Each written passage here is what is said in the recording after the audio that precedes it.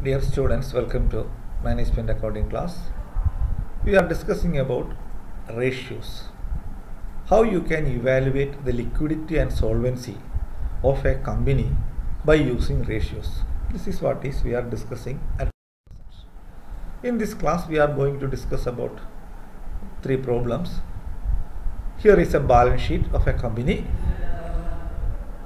Then calculate important liquidity and solvency ratios and comment on the financial position of the company. You are asked to measure the liquidity of the company, solvency of the company.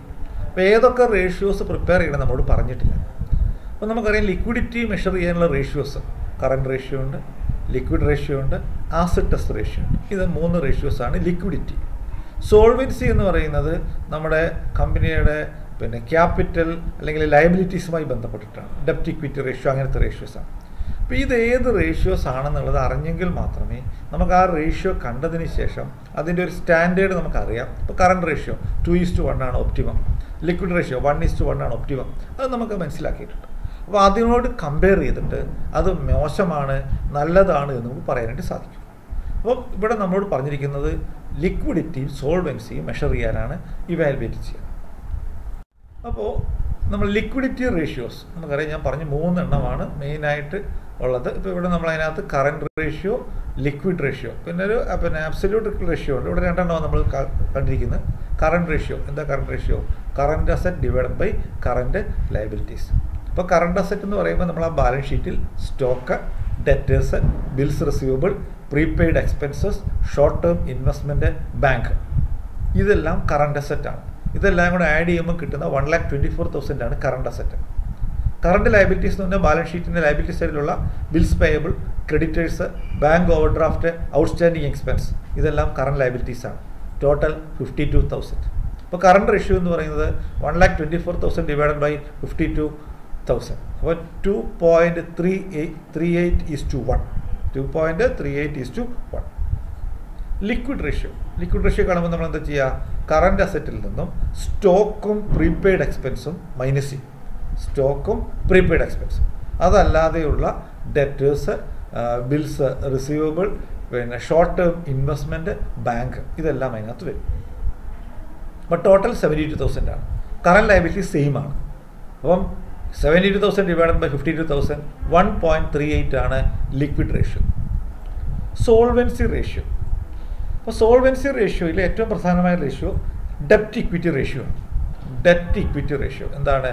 Relation between outside debt and equity equity means shareholders fund അപ്പം borrowed fund divided by shareholders fund അതിന്റെ equation borrowed fund divided by shareholders fund borrowed fund എന്ന് പറഞ്ഞാൽ നമ്മൾ interest പേ ചെയ്യുന്ന borrowings അതാണ്. അപ്പോൾ debentures പിന്നെ അതേപോലെ തന്നെ bills payable borrowed fund bills payable വരും. Creditors bank over draft outside sorry outstanding expense അപ്പം ഔട്ട്സ്റ്റാൻഡിങ് ആയിട്ടുള്ള എല്ലാ ലയബിലിറ്റീസും കൂടെ ചേർക്കുക അപ്പോൾ അതാണ് ബോറോഡ് ഫണ്ട് അപ്പം debentures bills payable creditors overdraft outstanding expense shareholders fund shareholders fund എന്ന് പറഞ്ഞാൽ share capital plus profit and loss account balance plus reserve share capital plus profit and loss account plus reserve അപ്പോൾ ഇവിടെ equity share ക്യാപിറ്റലും profit loss account ഉള്ള അത് രണ്ടും കൂടെ add ചെയ്യുമ്പോൾ one lakh forty eight thousand അപ്പോൾ ഡെപ്റ്റ് ഇക്വിറ്റി റേഷ്യോ എന്ന് പറയുന്നത് ninety two thousand divided by one lakh forty eight thousand that is point six two ഇനി സോൾവൻസി റേഷ്യോയിൽ രണ്ടാമത്തേത് capital gearing ratio capital gearing ratio capital gearing റേഷ്യോയിൽ fixed income bearing securities fixed income bearing securities എന്ന് പറഞ്ഞാൽ ഇപ്പം debentures five percent debentures പറഞ്ഞാൽ അതിന് five percent നിർബന്ധമായി interest കൊടുക്കണം. എയ്റ്റ് പെർസെന്റ് പ്രിഫറൻസ് ഷെയർസ് എന്ന് പറഞ്ഞാൽ എയ്റ്റ് പെർസെന്റ് അവർക്ക് കമ്പൽസറി ഡിവിഡന്റ് കൊടുക്കണം. അതാണ് fixed income bearing securities divided by equity share holders അപ്പോൾ ഇവിടെ രണ്ട് പിന്നെ items fixed income bearing securities ഇവിടെ ഡിബഞ്ചേഴ്സ് മാത്രമേ ഉള്ളൂ. അത് ഫോർട്ടി തൗസൻഡ് ആണ്. ഇക്വിറ്റി ഷെയർ ഹോൾഡേഴ്സ് ഫണ്ട് എന്ന് പറഞ്ഞാൽ capital plus profit loss account one lakh forty thousand അത് പോയിന്റ് ടു സെവൻ ആണ്. എന്താണ്? ഫിക് പിന്നെ നമ്മൾ ഡെപ്റ്റ് ഇക്വിറ്റി റേഷ്യോ ഇനി പ്രൊപ്രൈറ്ററി റേഷ്യോ എന്ന റേഷ്യോ ഉണ്ട്. Share holders fund divided by total assets അത് സോൾവൻസി മെഷർ ചെയ്യുന്ന റേഷ്യോ ആണ്. Proprietary ratio share holders funds divided by total asset share holders fund നമുക്കറിയാം. Equity share capital plus reserves ആണ്. Divided by total asset in the balance sheet point six two ആണ്. Fixed asset to net worth ഇപ്പോൾ fixed asset എന്ന് പറഞ്ഞു കഴിഞ്ഞാൽ നമുക്കറിയാം balance ഷീറ്റിന്റെ asset സൈഡിലുള്ള fixed assets goodwill land and building plant and machinery furniture ഒക്കെയാണ്. നെറ്റ്വർത്ത് എന്ന് പറയുന്നത് ഇക്വിറ്റി ഷെയർ ഹോൾഡേഴ്സിന് ഡ്യൂ ആയ എമൗണ്ട് ആണ് net worth equity share capital plus profit and loss account അപ്പം അത് പോയിന്റ് സെവൻ എയ്റ്റ് ആണ്. അപ്പോൾ ഇത് നമ്മൾ ഇവാലുവേറ്റ് ചെയ്യുമ്പോൾ കറന്റിലെ റേഷ്യോയും ലിക്വിഡ് റേഷ്യോവും എബൗ ദ സ്റ്റാൻഡേർഡാണ് കറണ്ട് റേഷ്യോയും ലിക്വിഡ് റേഷ്യോയും എബവ് ദ സ്റ്റാൻഡേർഡാണ് എന്ന് പറഞ്ഞാൽ എന്താ അർത്ഥം? Liquidity position of the company is very good ഡെപ്റ്റ് equity ratio എന്ന് പറയുന്നത് ഡെപ്റ്റ് equity ratio point six two ആണ്. എന്ന് പറഞ്ഞാൽ ഡെറ്റ് കുറവും എന്താണ്? ഇക്വിറ്റി കൂടുതലുമാണ്. ക്യാപിറ്റൽ ഗിയറിംഗ് റേഷ്യോയും കുറവാണ്. അപ്പം ഇങ്ങനെ വരുന്ന സമയത്ത് കമ്പനിയുടെ ലോണ് ബാധ്യതകൾ കുറവാണ്.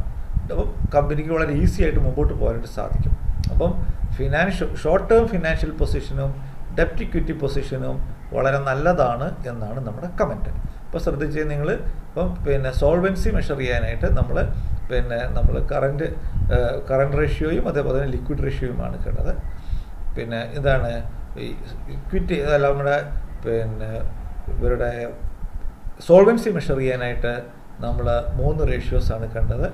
ഡെപ്റ്റ് equity ratio proprietary ratio fixed asset net worth ratio ഇങ്ങനെ റേഷ്യോസ് ആണ്. അപ്പോൾ ഇത് മനസ്സിലാക്കിയിരിക്കുക. ഒരു ക്വസ്റ്റ്യൻ കൂടി നോക്കാം. ഇപ്പം നമ്മളോട് തന്നിരിക്കുന്നത് ഒരു കുറച്ച് ഇൻഫർമേഷൻ തന്നിരിക്കുകയാണ്.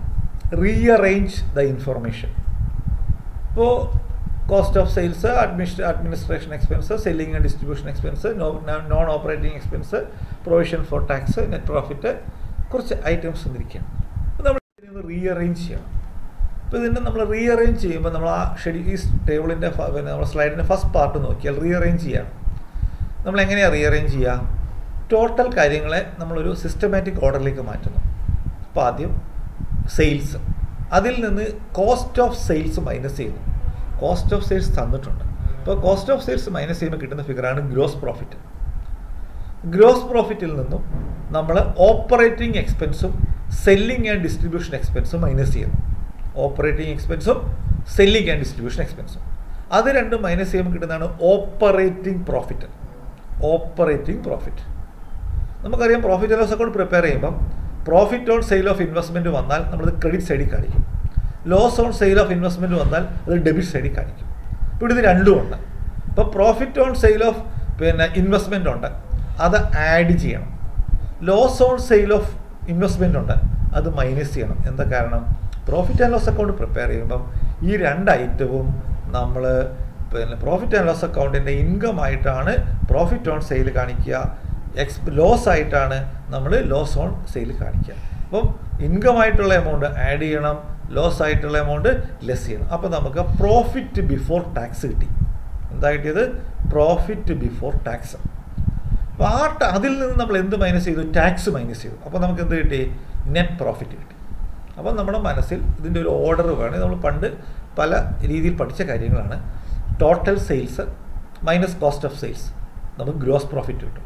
ഗ്രോസ് പ്രോഫിറ്റിൽ നിന്ന് ഓപ്പറേറ്റിംഗ് എക്സ്പെൻസ് അതേപോലെ selling and distribution expense minus ചെയ്താൽ ഓപ്പറേറ്റിംഗ് പ്രോഫിറ്റ് കിട്ടും. ഈ ഓപ്പറേറ്റിംഗ് പ്രോഫിറ്റിനോട് കൂടി non operating income expense non operating income add ചെയ്യണം. നോൺ ഓപ്പറേറ്റിംഗ് എക്സ്പെൻസ് മൈനസ് ചെയ്യണം. ഇത് രണ്ടും മൈനസ് ചെയ്യുമ്പോൾ നമുക്ക് പ്രോഫിറ്റ് ബിഫോർ ടാക്സ് കിട്ടും. ആ ടാക്സിൽ നിന്നും സോറി പ്രോഫിറ്റിൽ നിന്നും നമ്മൾ ടാക്സ് മൈനസ് ചെയ്തു. അപ്പോൾ നമുക്ക് എന്ത് കിട്ടും? നെറ്റ് പ്രോഫിറ്റ് കിട്ടും. ഇനി നമ്മളോട് പറഞ്ഞ റേഷ്യോസ് എന്തൊക്കെയാണ് റേഷ്യോസ് ഗ്രോസ് പ്രോഫിറ്റ് റേഷ്യോ നമുക്കറിയാം. ഗ്രോസ് പ്രോഫിറ്റ് ഇപ്പോൾ നമ്മൾ കണ്ടു five lakh four thousand divided by total sales eighteen lakh then operating profit എന്താ answer operating profit divided by sales into hundred then operating ratio എന്താ operating ratio operating cost by sales into hundred operating cost divided by sales into hundred അപ്പോൾ operating cost എന്ന് പറഞ്ഞാൽ നമ്മൾ production and distribution വരുന്ന കോസ്റ്റാണ് operate cost of sales plus operating expense plus selling and distribution total വരുന്നതിനോടുകൂടി നമ്മൾ എന്തുകൊണ്ട് divide ചെയ്യുന്നു? Sales കൊണ്ട് നമ്മളതിനെ ഡിവൈഡ് ചെയ്യുന്നു. നെറ്റ് പ്രോഫിറ്റ് റേഷ്യോ നമുക്ക് നെറ്റ് പ്രോഫിറ്റ് കിട്ടി എത്രയാണ് one lakh eighty thousand divided by eighteen lakh into hundred ten percent ആണെന്ത്? Net profit ratio അപ്പോൾ ഇതൊക്കെ ആണ് നമുക്ക് അതിനകത്ത് പഠിക്കാനുള്ളത്. ഇനിയിപ്പോൾ ഒരു ക്വസ്റ്റ്യൻ ഞാനിവിടെ തന്നിട്ടുണ്ട്. പിന്നെ share capital reserves mortgage loan central creditors bills payable net sales എല്ലാം തന്നിട്ടുണ്ട്. Stock velocity fixed turn assets turn over ratio debtors velocity total asset turn over ratio ഇതെല്ലാം കാണാനാണ് പറഞ്ഞിരിക്കുന്നത്. അപ്പോൾ നമ്മൾ അതിനകത്ത് സ്റ്റോക്ക് വെലോസിറ്റി എന്താ സ്റ്റോക്ക് വെലോസിറ്റി നമ്മൾ സ്റ്റോക്ക് ഈ പറയുന്ന കോസ്റ്റ് ഓഫ് സെയിൽസും തമ്മിലുള്ളൊരു റിലേഷനാണ് അപ്പോൾ cost of sales divided by closing stock അപ്പോൾ കോസ്റ്റ് ഓഫ് സെയിൽസ് നമുക്ക് അറിയില്ല. കോസ്റ്റ് ഓഫ് സെയിൽസ് കിട്ടാൻ നമ്മൾ എന്താ ചെയ്യേണ്ടത്? സെയിൽസ് മൈനസ് ഗ്രോസ് പ്രോഫിറ്റ് ആണ് കോസ്റ്റ് ഓഫ് സെയിൽസ് അപ്പോൾ ആ ക്വസ്റ്റ്യനിൽ പറയുന്നുണ്ട് എന്താണ് ട്വന്റി പെർസെന്റ് പ്രോഫിറ്റ് ഗ്രോസ് പിന്നെ നെറ്റ് പ്രോഫിറ്റ് ഉണ്ട്. അപ്പം ഇതിന്റെ ടോട്ടലായിട്ടുള്ള സെയിൽസിന്റെ ട്വന്റി പെർസെന്റ് മൈനസ് ചെയ്യുക മൈനസ് ചെയ്യുമ്പം നമുക്ക് കിട്ടുന്നതാണ് cost of goods cost of sales cost of sales divided by closing stock അപ്പം ഫൈവ് പോയിന്റ് ഫോർ ടൈംസ് ആണ് സ്റ്റോക്ക് വെലോസിറ്റി റേഷ്യോ അപ്പം cost of sales divided by closing stock cost of sales equals sales minus gross profit അത് നമുക്കറിയാം. അപ്പോൾ അത് minus ചെയ്ത് കിട്ടുന്ന ഫിഗറിനെ average സ്റ്റോക്കോ അല്ലെങ്കിൽ ക്ലോസിംഗ് സ്റ്റോക്കോ ഡിവൈഡ് ചെയ്യും. Debtors velocity ratio credit sales divided by accounts receivable എന്താ അക്കൗണ്ട്സ് റിസീവബിൾ എന്ന് പറഞ്ഞാൽ? ഡെറ്റേഴ്സ് പ്ലസ് ബിൽസ് റിസീവബിൾ ഇത് രണ്ടും കൂടെ ചേരുന്നതാണ് അക്കൗണ്ട്സ് റിസീവബിൾ അപ്പോൾ ക്രെഡിറ്റ് സെയിൽസ് നമ്മളോട് പറഞ്ഞിട്ടുണ്ട്. പിന്നെ എൺപത് ശതമാനം ക്രെഡിറ്റ് സെയിൽസ് ആണെന്ന് പറഞ്ഞിട്ടുണ്ട്. ടോട്ടൽ സെയിൽസിന്റെ എയ്റ്റി പെർസെന്റ് കാണുക total sales twelve lakh fifteen thousand ആണ്. അതിന്റെ eighteen percent ആണെന്ത്? Credit sales credit sales divided by accounts receivable എന്താ accounts receivable debtors plus bills receivable അപ്പോൾ നമുക്ക് കിട്ടുക എത്രയാണ്? Nine lakh seventy two thousand divided by two lakh fifty thousand three point eight nine times fixed asset turn over ratio fixed asset turn over ratio എന്ന് പറഞ്ഞാൽ cost of sales divide by fixed assets cost of sales divided by fixed asset cost of sale നമ്മൾ കണ്ടു. എത്രയാ? Nine lakh seventy thousand fixed asset balance ഷീറ്റിൽ നിന്ന് കൂട്ടിയെടുക്കുക balance ഷീറ്റിൽ പറയുന്ന fixed assets എല്ലാം കൂടെ ആഡ് ചെയ്യുമ്പോൾ സിക്സ് ലാക്ക് സിക്സ്റ്റി തൗസൻഡ് കിട്ടും fixed asset turn over ratio one point four seven times ആണ്. Total asset turn over ratio എന്താ അതിന്റെ equation net sales divided by total assets net sales divided by total assets net sales നമുക്കറിയാം. Twelve lakh fifteen thousand ആണ്. Total assets twelve lakh forty thousand ആണ്. Point nine eight times ഇത്തരം ratios നിങ്ങളിത് തന്നെ ചെയ്ത് പഠിക്കുക. നാളെ മുതൽ ഞാൻ ഇതിന്റെ കുറച്ച് ക്വസ്റ്റ്യൻസ് ആയിരിക്കും നിങ്ങൾക്ക് സ്ലൈഡായിട്ട് തരിക. നിങ്ങളത് ചെയ്യണം. രണ്ട് ദിവസം കഴിഞ്ഞ് ഇതേപോലെ അസൈൻമെന്റ് ഞാൻ സബ്മിറ്റ് ചെയ്യാനായിട്ട് നിങ്ങളോട് ആവശ്യപ്പെടും. അത് ചെയ്ത് എന്തെങ്കിലും സംശയം ഉണ്ടെങ്കിൽ വാട്സാപ്പിൽ എന്നോട് ചോദിക്കുക. ഈ റേഷ്യോസ് നിങ്ങൾ അതിന്റെ ഇക്വേഷൻ കൃത്യമായി പഠിച്ചെങ്കിൽ മാത്രമേ ഇത് ചെയ്യാനായിട്ട് സാധിക്കുകയുള്ളൂ. എല്ലാവരും അത് ചെയ്യാം താങ്ക്